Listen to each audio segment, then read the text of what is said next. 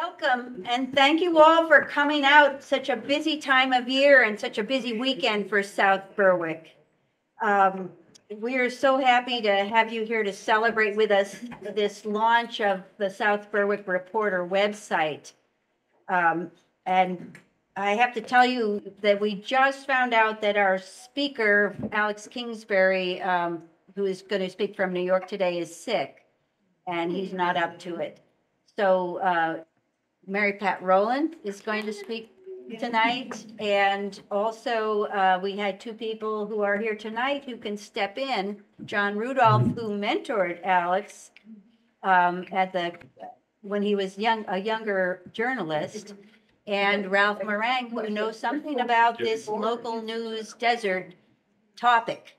So, so we are, we're going to manage it anyway. So, um, this all started a while back, but more than a year ago, Amy Miller and I mm-hmm. invited people to a meeting to have a conversation about the lack of local news in town. And out of that meeting, a few of us started to organize, and we were able to recruit a, a small staff of volunteers and routinely cover town council meetings and planning board meetings with the occasional other other event. And at this point, we've produced over a hundred articles and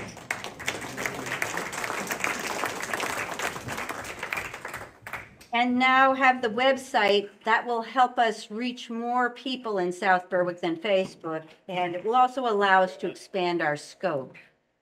Um, the website is going to be free. Uh, we are going to have email subscriptions. If you'd like to have an email come in with the latest stories in your box once a week, you can sign up for that. And there will also be a, a new feature once we launch the website, which is now. photo of the week. So if you take a, a great photo in town of, South, you know, somewhere in South Berwick and want to send it in to us, we'll post one a week. Um, I'd like to introduce our reporters now. We have uh, Zelda Kenny, and if you can stand up, that'd be great. Susie Burke.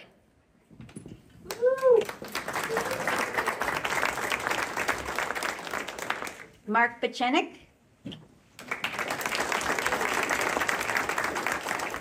Is Mary Elizabeth Everett here? No, she She didn't make make it? it. She Okay. asked me to- She's, she's one of our reporters. And myself. Our ed- Our editors are Nora Irvin. Amy Miller. Our webmaster is Trish English. And our nationally known cartoonist is John Glasner.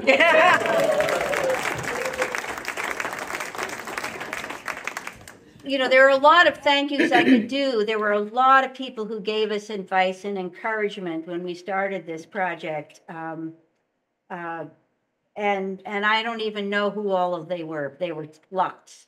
So uh, Sobo Central is is key to our being a viable project, and they've allowed us under their umbrella, which gives us stability, and we don't have to manage the the money part of things, which is very helpful to us.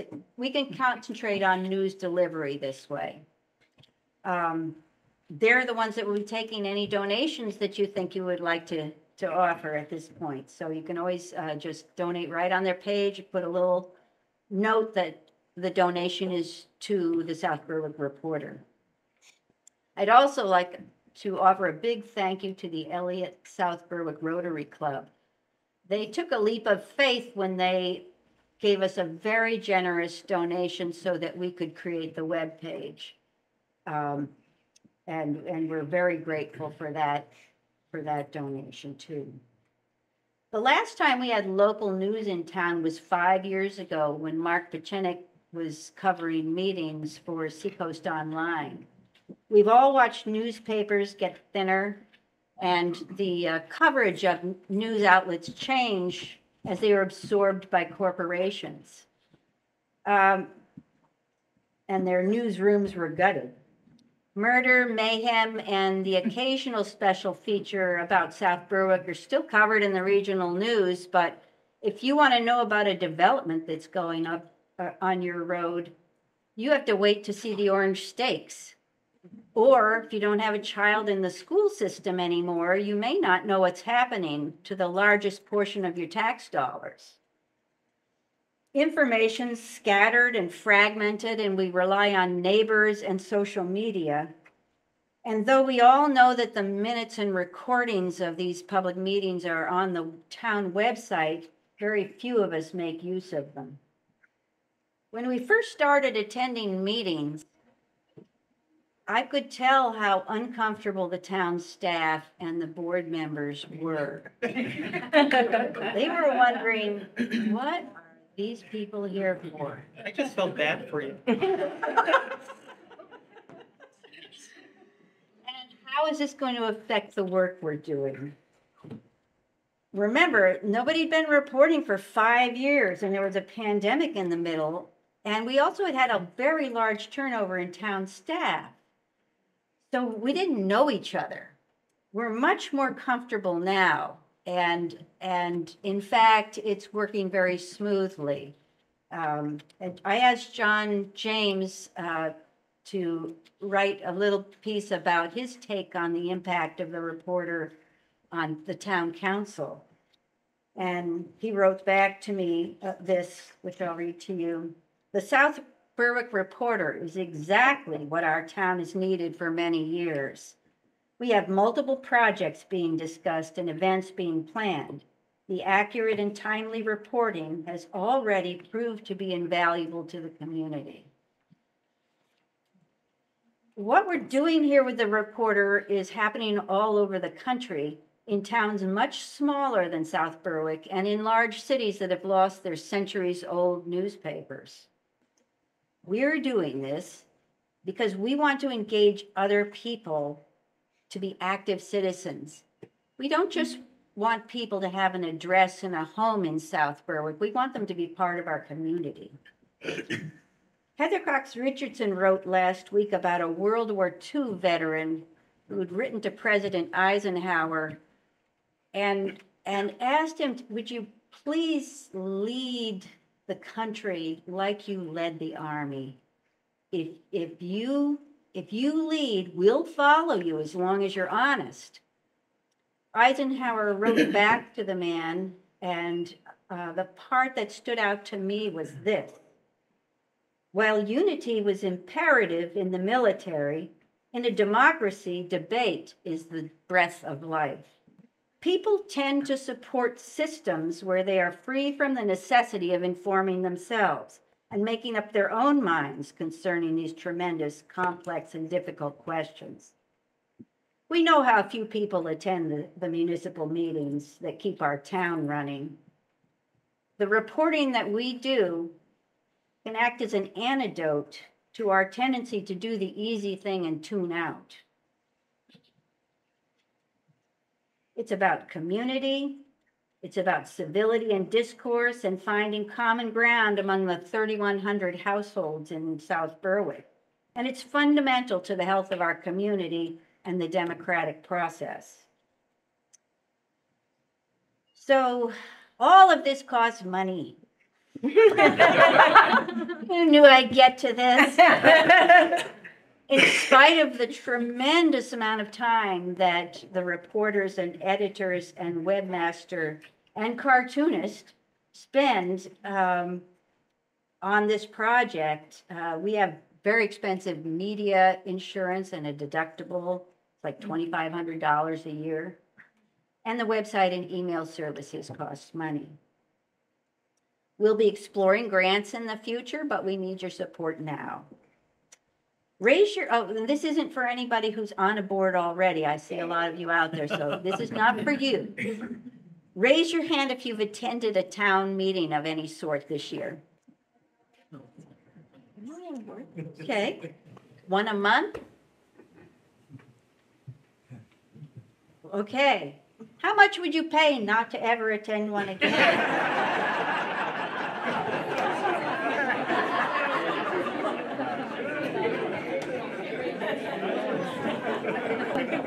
So we're, we're hoping for sponsorships from businesses or individuals. Um, we have a banner on the homepage that, uh, we have various amounts of time. You can read that over there if you want to know what the benefit for your business would be in terms of exposure.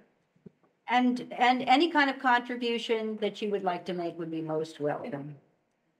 Nobody cares about South Berwick as much as the people who live here.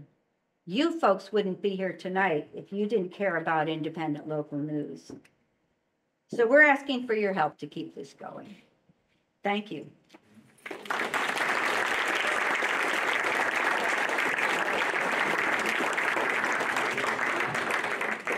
Can you talk loud?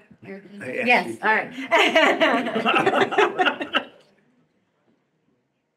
In a journalism career spanning more than 40 years, Mary Pat Rowland was a reporter, columnist, and for decades, the managing editor at Foster's Daily Democrat, where she was responsible for coverage of everyone from presidents to criminals to regular folks. Her unerring nose for news was legendary, as was her training and mentoring of aspiring young journalists. The New England Society of Newspaper Editors awarded her the Judy Brown Spirit of Journalism Award for her work with rookie reporters. Mary Pat also received the Yankee Quill Award for her lifetime contributions to the newspaper industry in New England. For more than a decade, she served on the board and is a past president of the New England Press Association, a trade organization offering educational programs, legal help, and First Amendment and legislative advocacies to its members. So here's a fun fact. Three of the South Berwick Reporter staff, as well as, as uh, Alex Kingsbury, were employed by Foster's at various times during Mary Pat's tenure. And one of them as an 11 year old paperboy.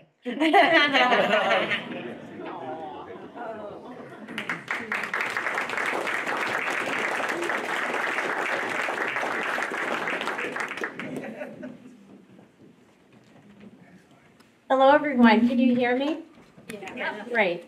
Um, it's been years since I've done anything like this. Um, truthfully, I'm a little rusty, so please bear with me. Um, also, know that I wrote a big chunk of this speech while watching Hotel Transylvania with my grandchildren. so um, please pay no mind if I start to sound a little like Count Dracula. um, it's such an honor to be here tonight to celebrate the launch of the South Berwick Reporter, the community's very own nonprofit news source. For me, uh, it's a homecoming of sorts.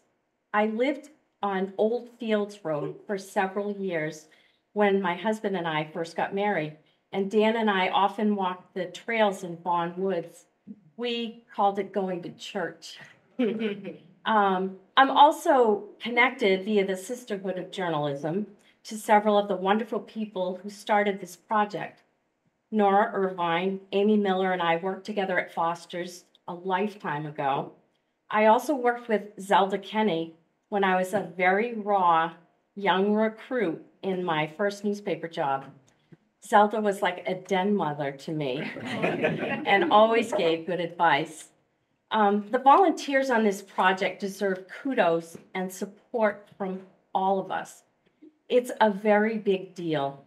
Um, I'm not sure how many of you have given thought to the bigger picture associated with this endeavor, but you should take a moment to appreciate it. You are now part of a growing national movement with enormous potential to resurrect journalism, bring vital information to communities, and protect democracy. Take a breath, it's a tall order.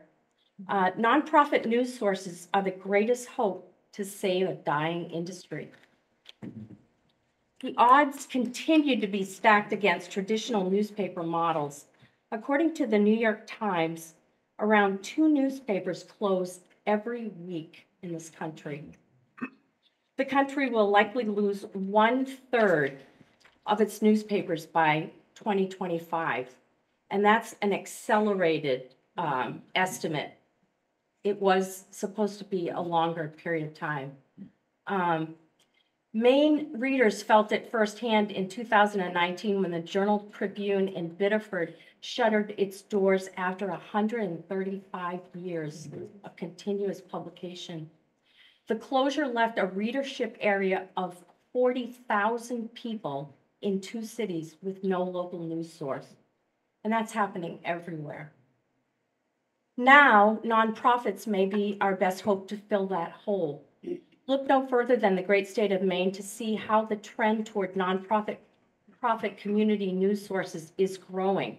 For those who may not be aware, last summer the National Trust for Local News acquired a majority of local newspapers in Maine, including the Portland Press Herald, four other dailies, and 17 weeklies. The Portland Press Herald hailed the move as a landmark deal that could help preserve local news across the state. In neighboring New Hampshire, which I'm more familiar with, um, there is indepthnewhampshire.org. It's a nonprofit watchdog news website published by the New Hampshire Center for Public Interest Journalism. According to In Depth New Hampshire's mission statement, they work to provide vigorous, in depth news coverage focused on government and public servants to hold government accountable. And just last week in Massachusetts, the Plymouth Independent, a nonprofit news source packed with former Boston Globe news veterans, began publishing online. The nonprofit news movement is also growing nationally. Membership in the Institute for Nonprofit News, a trade association that was founded back in uh, 2009 by 27 nonprofit publications, has now climbed to 425 members. So it, it's happening. All of this is incredibly heartening to me. Um, I poured my heart and soul into the news business. Five years ago, I retired from Foster's Daily Democrat after 43 years. I was fortunate to have worked uh, in the industry in the glory days when revenue was rolling in and readers couldn't wait to get their hands on the Fosters, as our loyal subscribers like to call it. In its heyday, um, Foster's held considerable sway on Main Street, in the halls of state government, and inside the Oval Office. In the 1992 presidential race, when George H.W. Bush was running against Bill Clinton, the economy tanked, and so did Bush's polling numbers. He called Foster's owner and publisher Robert Foster to help for ask for help and an editorial endorsement. Several days later, the leader of the free world came to little old Dover, New Hampshire, picked up Bob Foster and his wife Terry in the presidential limousine, and rode around the city for several hours. the president got the endorsement he was seeking, but still lost the election. Presidential politics um, played a big role in Foster's success story. Bob and Terry Foster were staunch conservative Republicans and considered themselves to be kingmakers when it came to New Hampshire's first in the nation presidential primary. Every four years, presidential candidates, whether they be Democrats, Republicans, independents, or the fringiest of the fringe, made the pilgrimage to the newspaper's 333 Central Avenue in Dover, hoping for a front page story and editorial endorsement. All were accommodated. Our receptionist, a French Canadian woman named Gil Fogarty, had a very historic register, which all of the candidates signed as soon as they entered the building. Most of the presidential candidates in the last 45 years, from Ronald Reagan, Bob Dole, Mitt Romney, and the Bushes, H.W uh, and his son George W., to Bill Clinton, Barack Obama, and Hillary Clinton, made their way to Foster's for editorial board meetings in which we were allowed to fire off some very tough questions.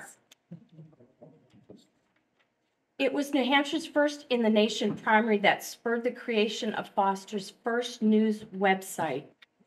Primary Destinations New Hampshire, established in 1995, was the brainchild of my brilliant former colleague and Foster's news editor, Phil Kincaid. Though Foster's had one of the first newspaper websites in the Northeast, that predominance did not last. There was a great deal of internal dissension about online news. Some editors did not believe print was ever going away. Uh, and others, including me, feared giving away the news for free online would do nothing to help us. The executive editor decreed that the news department would not share content with the website until after it had been published in print. A decision that had disastrous consequences for building online uh, readership and a future for the newspaper in a world gone digital. Most newspapers were doing the opposite, publishing stories online first and print later. Still, um, that edict had little effect on the bottom line at first. At its peak in the late 1990s and early 2000s, Foster's had a hefty news operation at its home base in Dover and bureaus in Rochester, Somersworth, Portsmouth, Exeter, Hampton, York, Maine, and the New Hampshire State House. There were numerous publications, too which were either created from scratch or purchased. The Rochester Times, the Portsmouth Times, and the Sanford News, weeklies in York, Maine, and Somersworth, Showcase Magazine, and Seacoast Sunday, our biggest project and highest revenue producer. During the glory days, when brick and mortar retail was flourishing and online shopping had barely begun, there were 45 full-time news staffers. And that doesn't even count the back shop where the paper was being put together. Dover alone had five reporters. When I retired in July of 2018, we were down to just two reporters for the entire Foster's coverage area. So that's kind of shows you just what happened. Um, during the last 20 years of my career, I witnessed what I sadly call the great unraveling. The upheaval from the transformation to a digital world was every bit as monumental as Gutenberg's invention of the printing press. Malls and storefronts began to disappear as online shopping exploded. Newspapers, including Foster's Daily Democrat, were very slow to adapt and suffered huge losses as the business model collapsed. According to Pew Research Center, the newspaper industry hit a peak in 2006 of nearly $50 billion in advertising and circulation revenue. In 2022, that number had dwindled to $9 billion. Large scale media companies like Gannett and Gatehouse bought local newspapers, including Foster's, for pennies on the dollar.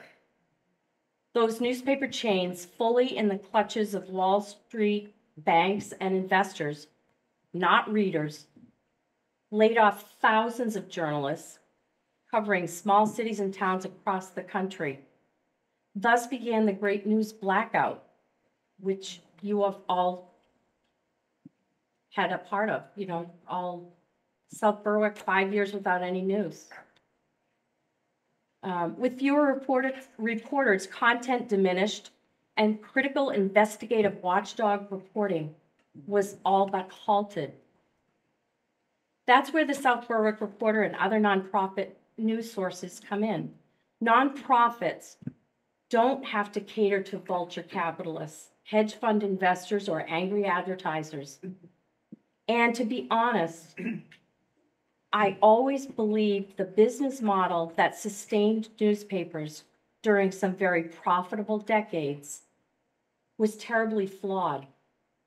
If you wanted to do a consumer story about some poor schmuck who bought a lemon at the local car dealership, the story usually got quashed for fear of the newspaper losing the dealership's precious advertising revenue. Uh, the marriage between newspapers and advertising is always shaky and compromised at best. The volunteers at the South Berwick Reporter will be free to report stories that truly represent this community. That said, it's serious and important work and needs seasoned guiding hands to ensure that writers adhere to the highest journalistic standards. Journalism may seem like it has all the discipline of the Wild West, but I assure you that is not the case. There is structure to the collection and writing of news. There are rules and ethics to make sure stories are fairly and accurately reported. I would never argue that journalism is high art, but it is a precise and deliberate craft with a steep learning curve. That's why the South Berwick Reporter will be ahead of that curve. Nora and Amy are steeped in the craft and can help volunteer writers with limited journalism experience to produce the best work. Foster's Daily Democrat was noted as a training ground and boot camp of sorts for raw journalism recruits who were just barely out of college and not actual fully functioning adults many times. we once hired a reporter fresh out of Middlebury College to cover Farmington, New Hampshire. Probably not the best fit. Her first question to editors was where are the squash courts in Farmington? Boy, was she in for an education and some culture shock. Um, we also had a reporter who, after just one day on the job, came to work with his hand all wrapped in a bandage. When I asked him what happened, he said he had cut his hand while trying to make a sandwich. He was 22 years old and had never made one before. I'm sure Nora could tell you more crazy stories about some of our brash young rookies. The point I'm trying to make is Nora has seen it all. Bring your questions to her. Nothing is too silly to ask.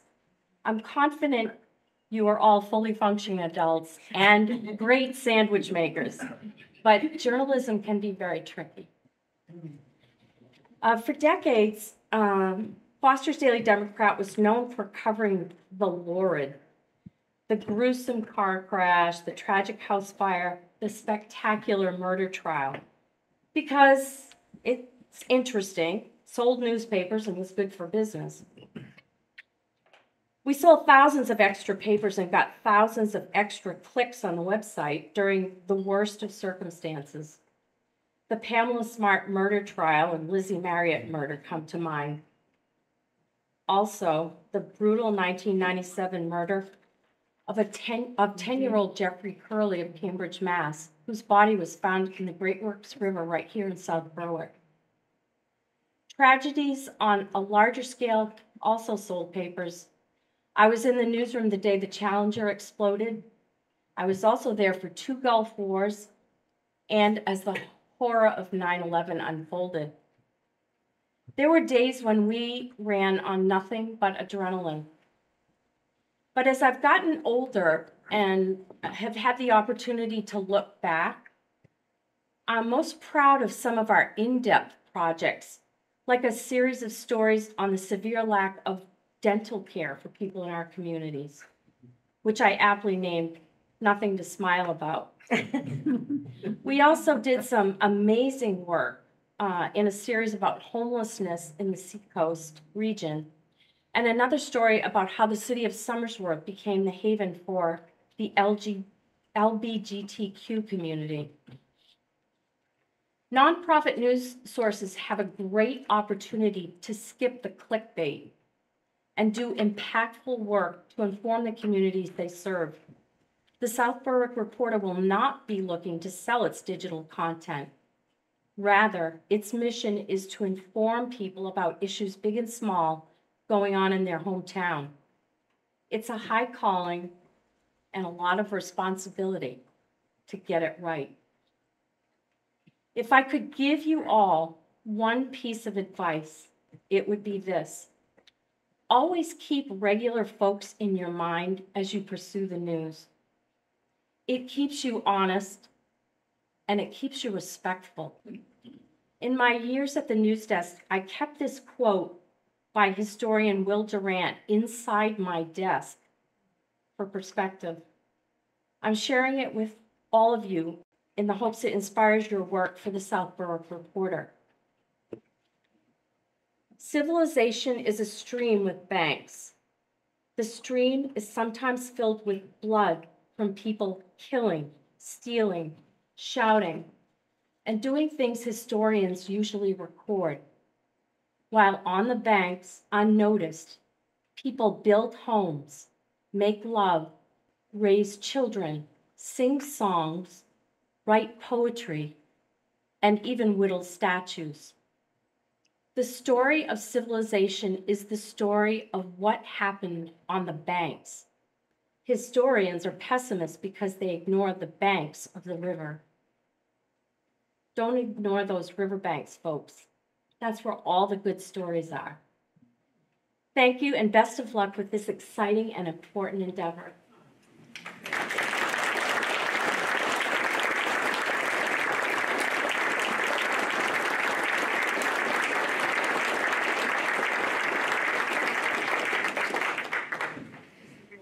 So, um, who's next? Rally for John. John. John, John's next. John Rudolph. Um, let's see, I, I don't know if I can do a bio right off the top, but I know he worked for the Christian Science Monitor for a long time, and now he's running Feet in Two World. Yes, All right. great, thank you. Well, everybody, I wasn't expecting to be here, up here tonight. Um, But um, unfortunately, Alex, my good friend, and I mean that in the sincerest way, and my uh, former mentee is not feeling well. So I'm just going to take a few minutes to try to uh, measure up to him. I mean, Alex has really risen to the very top of the journalism profession. He's on the editorial board of the New York Times, and um, uh, I'm I'm so proud of him. Uh, but I want to talk just a little bit about the South Berwick Reporter and about journalism generally. Uh, the remarks that we just heard were, uh, were focused a lot on nonprofit news I run a nonprofit news outlet, which I started 20 years ago, uh, called Feet in Two Worlds. Some of you are familiar with it. Uh, we uh, we publish stories about and by immigrant journalists, and we mentor and train immigrant journalists. And we have a network of journalists who have gone through our programs all over the country and actually around the world. Some of whom have gone back to the countries that they originally immigrated from. And uh, so, and, and Feet in Two Worlds is a member of the Institute for Nonprofit News, which was also mentioned, which is an amazing organization, but not the only organization representing nonprofit news organizations around the country. So yes, I do believe that nonprofit news is a lifeline for the journalism profession and for bringing information to South Berwick and many communities, large and small, all over the country. I want to just share with you two um, uh, bits of news that have caught my attention as someone who runs a nonprofit news organization. So the first is um, a study that uh, just came out. Let me find it here.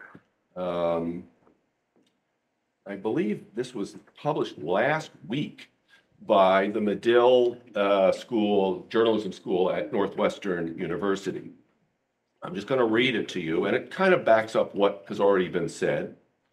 The loss of local newspapers accelerated in 2023 to an average of two and a half per week, leaving more than 200 counties as news deserts and meaning that more than half of all U.S. counties now have limited access to reliable local news and information. In addition, Medill researchers for the first time used predictive modeling to estimate the number of counties at risk of becoming news deserts. those models show that another 228 counties are at high risk of losing local news. So this is a shocking and very dismaying uh, development. Now, let's look at the other side of the coin. Um, some reason for hope, which is an organization, uh, well, it's, it's actually a, um, a project called Press Forward. And Press Forward is a coalition of leading foundations, and I believe maybe some corporations as well, that have gotten together and pledged $500 million to support nonprofit journalism across the United States. And this is led by the MacArthur Foundation. And uh, I know that their ultimate goal is to actually get closer to a billion dollars in funding. Now, that's not going to solve the problem, but it's a good first step. And they are now generating their rules and guidelines, and they will be um, uh, opening up their first round of funding early next year. And I'm certainly hoping that there's a place uh, where uh, the South Berwick Reporter can apply for, for some of those funds. So, you know, we're talking here about journalism, but what is the purpose of journalism? Well, if any of you have studied journalism in college or high school, you know that the questions that we ask are what, where, when, why, who, and how. So what happened? Where did it happen? Why did it happen? Who was there? And and and the reasons for for it happening. So these are questions that we as consumers of news, readers of newspapers, television watchers, public radio listeners, we all want to know. And so the journalists are out there asking those questions on our behalf. And the problem of being in a news desert is that there's nobody there asking the questions. Well, now we have the South Reporter, and those questions are being asked again, and they're important questions to, to ask and to answer. But it's really not about journalism. It's about representative democracy. And if journalism fails, representative democracy is at risk. It's at great risk. So to me, this is such a beacon of hope because it means that South Berwick, which I have always felt was a, a model of civic engagement. I mean, people in this town vote, and they vote in large numbers. And many of you in this room, I know because I've served on town boards and commissions and so forth together, or I've seen you at meetings, or uh, you know, we've been involved in one way or another. So South Berwick does have a culture of civic engagement, but we haven't had a newspaper really ever, um, or maybe certainly not since I've lived here in since the uh, early 80s.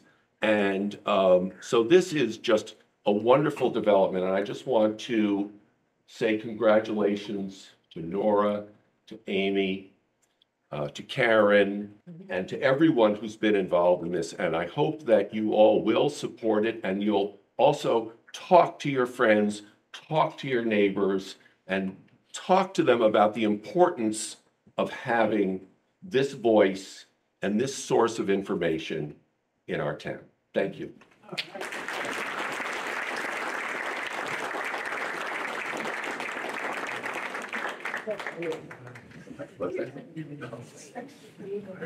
That was pretty good for a spontaneous speech. Um, Ralph Meringue, uh, was, uh, was some of, he, he, uh, did a program at the Berwick Public Library probably a year and a half ago, I think we figured out. Um, uh, they had, uh, put together a video and there was a panel and you were exploring local news um, with town officials, and Bill Nemitz was there as a speaker. And we had considered that a homework night um, as we were exploring forming the South Berwick Reporter. So Ralph definitely has uh, informed himself on this subject. Thank you for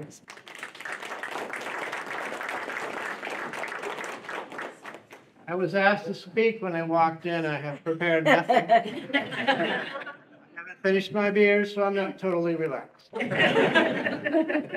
Um, I'm so happy that documentary did help spur the South Berwick Reporter, and I think with this staff, the town select board, the town boards, and the school boards are, have no hope. They'll be held, um, to their responsibilities. Um, I'm a photographer. I worked for the Portsmouth Herald in the early nineties for four years. Um, I also did freelance photography. Back in the nineties, the Herald had a newsroom in almost downtown Portsmouth where there was not enough room for every, all the staff members. Um, after I left, they moved to Pease. They had more room than they could use and less staff than they could, they needed, and they recently sold that building. Um, I also was a correspondent for Eliot, Maine, uh, for about three or four years, until five years ago or so. And one day I sent in the agenda to the editor, the select board agenda. And he said, no, we're not gonna cover this one, and that was it. I didn't go again. They have not had a reporter there, as far as I know, since then. Berwick, where I live, used to have a reporter that covered, a full-time reporter who, whose job was covering Berwick, Judy Curry. And then she was suddenly gone. We live in a news desert. It doesn't sound serious until you consider that we used to get news on our doorsteps. We could not avoid it. If you didn't want to read something about something, and it was on the front page, you read it anyway because you couldn't quit it. So um, I now work for Berwick Community Media, the cable TV station in Berwick, part-time. We talked about this lack of news coverage because a lot of our work is live streaming public meetings, select board, planning board, school board, board of appeals, all the boards. And we were concerned that not many people really watch it. I mean, not as much as got a newspaper twenty years ago. So we did this documentary, um, called it News Desert, um, in a small town. And we just interviewed Judy Curry, the former Foster's reporter, another Foster's reporter, Brendan DuBois, who used to cover Berwick also many years ago. Um, he's done well. He's one of uh, James Patterson's partner of writers. Um, and we discovered, we interviewed Bill Nemitz of the Portland Press Herald, and he talked about the Harpswell Monitor, which is a good model for this. The Harpswell, did I say monitor? Harpswell Anchor. Harpswell, Maine. It was a monthly newspaper owned by one gentleman who more or less did it himself, and he wanted to retire. Citizens were concerned that they wouldn't have a newspaper. So they got together and did this kind of thing, formed a nonprofit to publish a newspaper. They do a monthly printed newspaper and online, of course, funded by grants and uh, donations and sponsorships. The sponsorships look like advertisements in the printed paper. So somebody sponsors them, they get a certain amount of space in the paper for an announcement, which looks like an advertisement. That's something to think about. Um, the things to do, um, Judy Curry told us three things. There are three points that newspapers should provide. What you want, what a reader wants to know, what a reader needs to know, and what they should know. And what you want to know are the lurid things, murders, crimes. What you should know is like the roads are closed. What you need to, and what you should know are town meetings, voting, and elections, and all that. Um, Bill Nemitz said that newspapers are the cliff notes of history. So four-hour meetings boil down to something you could read in, in a, in a few minutes. It's, it's very important to be informed, and like John said, It's the first bastion of the protection of democracy. If we don't know what's going on, we won't know what to do. So I think those are all in my notes. Let me check. Sue, anything else?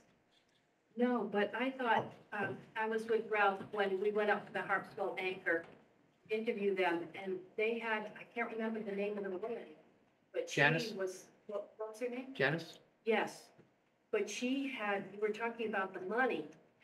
She was like, we wanted to clone her for every place like this because she knew how to get the money without compromise, without having to sell. She was a fundraiser for Harvard at one time.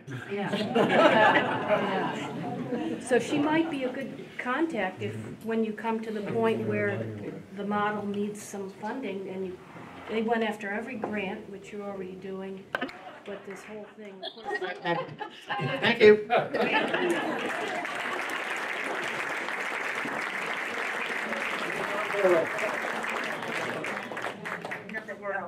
All right, well, thank you so much for coming. This is a way bigger crowd. So, um, lots of cookies.